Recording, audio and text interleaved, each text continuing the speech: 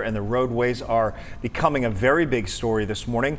You're going to want to leave a little extra time as you get out there to uh, hit these roadways. Yeah, so we've seen some ice on bridges in the last hour. MedStar has responded to 28 accidents in Fort Worth alone.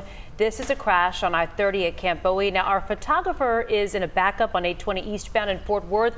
We're going to get to Demetria in just a second, but we do want to talk to Greg first because that winter weather advisory was issued just minutes ago. Yeah, and that uh, drizzle started early this morning. Those temperatures have been below freezing for us. So, yes, we are dealing with that, especially on those uh, elevated surfaces out there. Radar doesn't look real impressive, but we do have that very light drizzle out there with those temperatures below freezing. So, it is freezing on contact with those elevated surfaces here this morning. So, give yourself some extra time. Don't be fooled and get too overconfident on the roads, but you do see that uh, pink uh, shaded area there getting out toward. Cleburne along and south of I-20. Some light rain as well with temperatures hovering right around freezing. We will have that freezing rain, very light and drizzle here this morning. See that winter weather advisory has just been issued for the area. It goes until 10 o'clock here. It does include Denton, Collin, uh, Fort Worth as well included in that. Dallas County getting down to Cleburne and Granbury here this morning too. So that's the area shaded in purple where we do have that winter weather advisory for the light icing that we're seeing out there. And again, that goes until 10 o'clock here this morning. Upper 20s getting over to Fort Worth at 27, 28 in Denton.